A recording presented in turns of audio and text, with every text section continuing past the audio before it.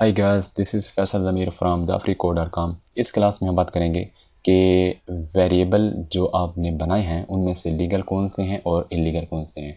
इससे पहले वाली क्लास में हमने बात की थी रूल्स के बारे में। रूल्स हमने पढ़े थे। उन्हीं रूल्स के मुताबिक रूल्स को समझते हुए रूल्स को जहन में रखते हुए हम देखेंगे कौन सा वेरिएबल हमारे पास वैलिड है और कौन सा इनवैलिड है, या कौन सा लीगल है और कौन सा इलीगल है।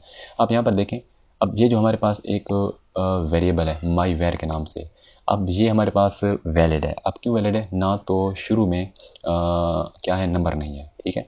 और दरमियान में स्पेस भी नहीं है। तो स्पेस हमने इसमें नहीं पढ़ा लेकिन आइडेंटिफायर में पढ़ा था कि दरमियान में स्पेस नहीं होना चाहिए। वेरिएबल जब बना रही हूँ अगर दो वर्ड हूँ तो दरमियान में स्पेस नहीं होना चाहिए। तो इसमें स्पेस भी नहीं है और शुरू में कोई नंबर भी नहीं है। तो ये हमारे पास एक वैलिड है। अब यहाँ पर देखें दो वर्ड को इकट्ठा कर रहा है अंडरस्कोर के ज़रिए से तो ये हमारे पास एक वैलिड है, क्योंकि बाकी स्पेशल करेक्टर को हम यूज़ नहीं कर सकते, उसमें जस्ट अंडरस्कोर को हम यूज़ कर सकते हैं।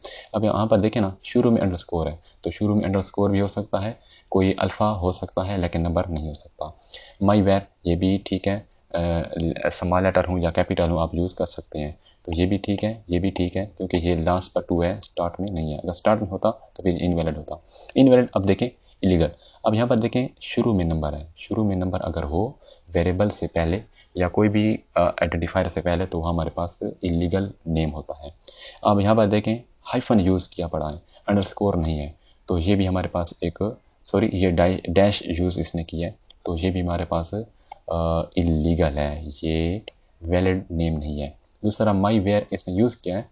ये इसमें मिस्टेक ये है कि इसने दरमियान में स्पेस दिया है। स्पेस नहीं देनी चाहिए। तो ये हमारे पास कुछ लीगल और इलीगल वेरिएबल नेम्स हैं। तो नेक्स्ट क्लास में हम पढ़ेंगे कि वेरिएबल को क्रिएट कैसे करते हैं और उसको हम कैसे प्रिंट करते हैं। केस सेंसिटिव की एग्जांपल मैं आपको दूँगा इन तो नेक्स्ट क्लास आप ज़रूर लें।